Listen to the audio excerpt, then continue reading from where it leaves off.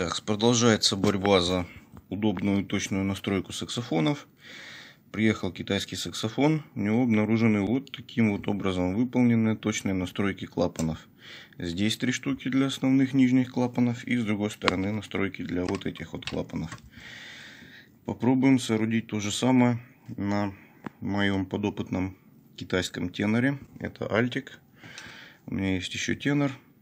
Очень удобно в любой момент просто с отверткой немножечко подкрутил и подстроил клапан так, как необходимо. Значит, по нюансам, там кроме винта есть еще такая площадочка, на которую под, подклеен листовой войлок, для того, чтобы не было цокания. И с этой стороны вот есть прорезь в винте, для того, чтобы закручивать. Для изготовления деталей будем использовать вот эти вот готовые муфточки латунные. Они с внутренней резьбой М3 и высотой ну, примерно 5, 5 миллиметров. Винчивать будем обыкновенные плоские винты М3. В данном случае это нержавейка с головой под шестигранник. Ну, можно использовать любую. Главное, чтобы здесь была плоскость. Этой плоскостью он будет упираться в тело саксофона а латунь припаяем к латуни вот этого вот упора. Причем, чем дальше от оси, тем настройка будет получаться точнее. Так что паяться будем где-то здесь. Важно, чтобы был просто доступ для отвертки, который будем подстраивать. Ну и оставим площадку, не будем значительно переделывать э, этот рычаг, для того, чтобы была возможность в любой момент вернуться к предыдущей схеме с подклеиванием пробок. Как я уже и говорил, изменения можно вносить такие, которые можно было бы в любой момент откатить назад. Если меня не устроит эта микроподстройка с винтиком, то я просто вывинчу винт и вернусь к предыдущей схеме. Для прорезания шлицев под отвертку в винте будем использовать китайский же дремель с маленьким диском. Так, шлицы на винтиках нарезал. Будем пробовать. Так, ну начал с проблемных моментов. Встроил подстроечку сюда. У этого рычага вот этот вот клапан. И другой настройки для этого клапана не существует. Только ход этого рычага. Тут всегда были вопросы, приходилось то подпаивать, то подклеивать.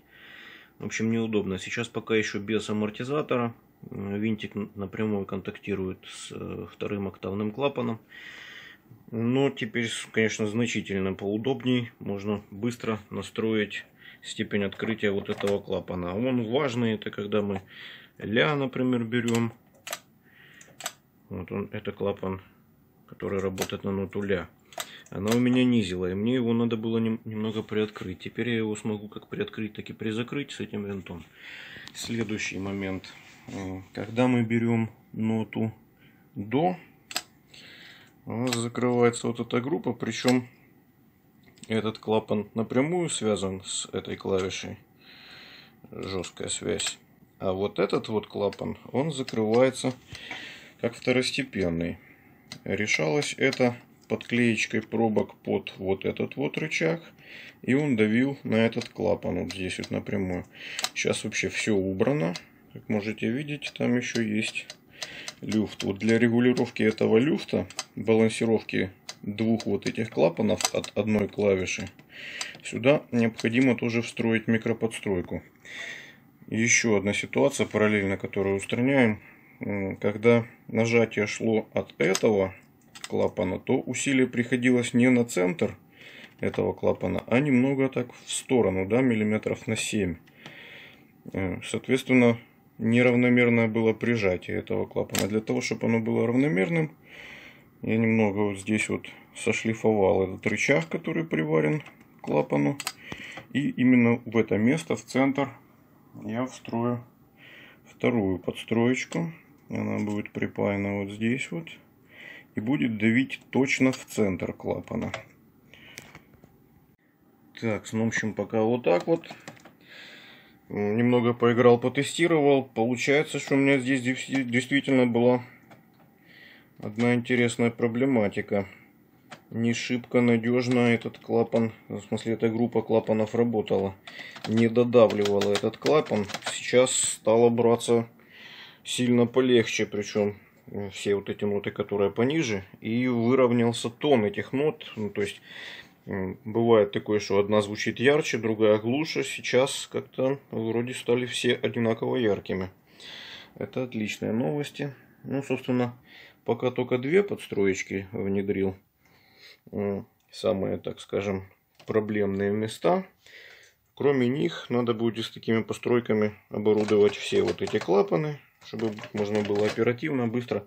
Э, значит, потестировал при многократных нажатиях, винтик может выкручиваться самостоятельно. Для того, чтобы он не выкручивался, просто капаю вот сюда вот резиновый клей-момент. Он там создает небольшую преграду для выкручивания. При этом отверточкой вполне нормально он проходится. Но самостоятельно вывернуться винтик не может. Сейчас начинаю репетицию. Три часа поиграю, посмотрю. Если все будет в порядке, то продолжу устанавливать эти микроподстройки везде уже.